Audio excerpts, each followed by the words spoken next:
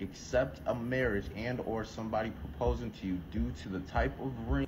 Oh my God, I'm literally in ring hell right now. Listen, a woman who says that she doesn't want to start out her relationship with a junky ring is not materialistic. It Hello. doesn't mean she's a bad person. It, it doesn't, doesn't, mean she's a gold digger. No, it, it just simply means that from the jump, she wants to have a more secure, more stable situation that she's entering into and potentially creating a family in. Like it, it's not like so difficult to figure out. And ladies out there who want a nice ring and want to start out financially in a good position, like there's nothing wrong with you.